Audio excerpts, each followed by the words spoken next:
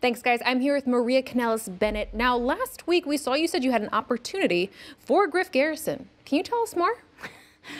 Yes, an opportunity. An opportunity that I think I should explain to Griff Garrison in person first. But I do love creating opportunities, and this particular opportunity is protecting a legacy. A legacy that was Maria, built by my kingdom. over kingdom. Oh, Stand right there, I- okay? I- Yeah, I found him. I, I see I that nice him. shirt. I Okay. Yep. Thank you. Thank you very much, Cole. Hi, Griff. How you Hey. feeling? I'm hurting. I'm sure.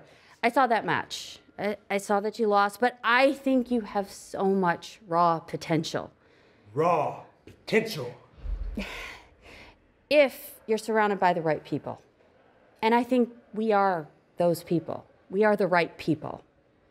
So just think about it, all right? Think about it. Yeah, just think about it.